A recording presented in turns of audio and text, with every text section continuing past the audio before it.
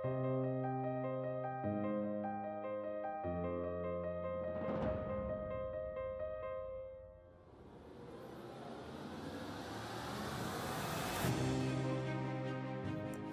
«Дубы» Куинджи написал в 1900 году.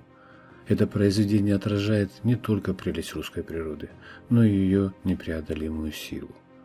На картине мы видим необычайно красоты пейзаж – Полотно поражает деталями очертаний и конфигураций. В самом его центре изображены величественные дубы, отличающиеся густотой кроны и обремененные сочной непроницаемой листвой, которые удачно дополняют весь сюжет произведения. На холсте бесспорно романтическое мировосприятие природы. Спереди от них ложится густое затенение. По лучистому небосклону изредка проплывают невесомые просвечивающие облака.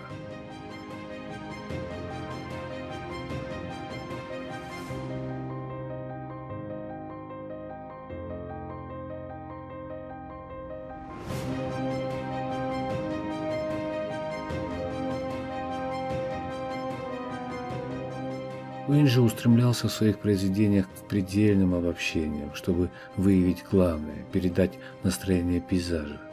Он искал собирательный тип дерева, и этот отбор привел его к своего рода громоздкому, оригинальному образу огромного дуба.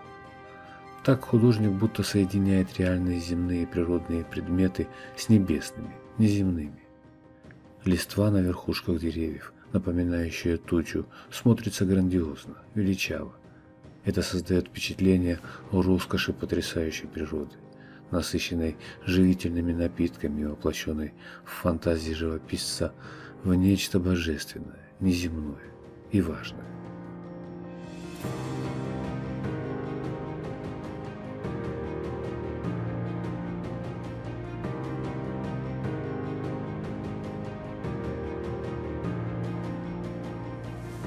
Художник с характерной для него проницательностью и верностью зрения замечает в ней изысканные отличия оттенков и поразительно искусно их представляет. Это видно и в воспроизведении невесомого прозрачного неба, и в лучезарном сиянии, наполняющем поляну, и в свежей мураве, полутона которой меняются от светло до темно-зеленых оттенков. На холсте Куинджи отсматривается композиционное сопоставление с работой Шишкина «Дубы», стада. Но если в своем детище Шишкин акцентрирует внимание на деталях пейзажа, то Куинджи, напротив, синтезирует форму, создавая искусную художественную метафору.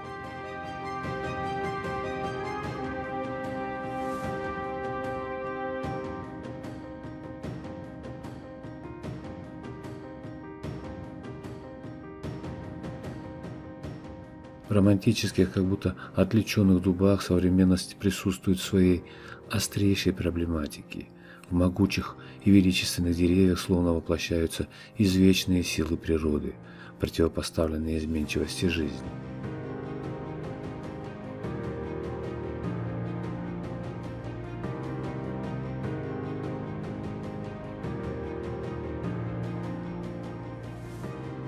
Художник, безусловно, передал свои трепетные чувства в этот пейзаж. Он создавал его с радостью и любовью. Несложно догадаться об этом. Ведь сама картина излучает необыкновенный позитив, необъяснимую жизнерадостность и гармонию, безукоризненную чистоту и величие русской природы.